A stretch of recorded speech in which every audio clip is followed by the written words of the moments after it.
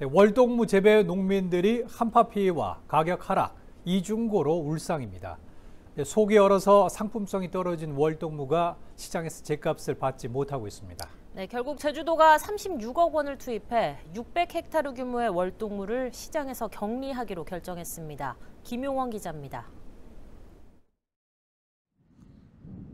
이달 출하가 예정된 다자란 월동무 재배 면적은 800헥타르 정도입니다.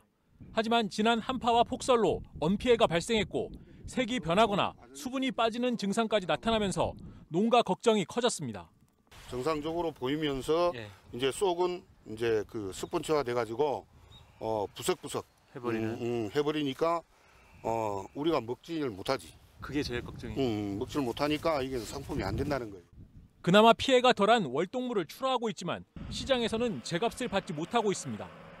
지난 1일 전국 도매시장에서 거래된 월동무 20kg 가격은 15,000원대로 최근 3년 들어 가장 높았습니다. 하지만 불과 엿새 만에 가격이 11,000원 선으로 내려갔습니다.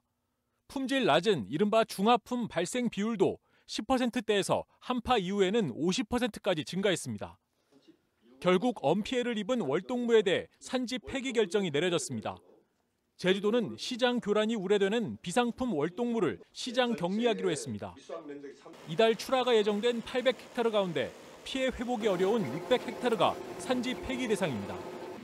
투입 자금은 총 36억 원 규모로 3.3제곱미터당 지원금은 1,980원입니다. 재난 지원금까지 더해지면 생산비의 80% 수준까지 보전될 전망입니다.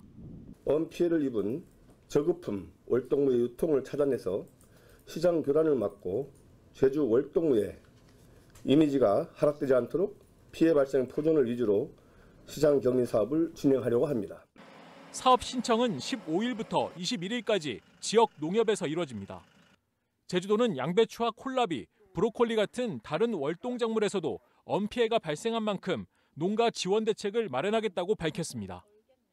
KCTV 뉴스 김용원입니다.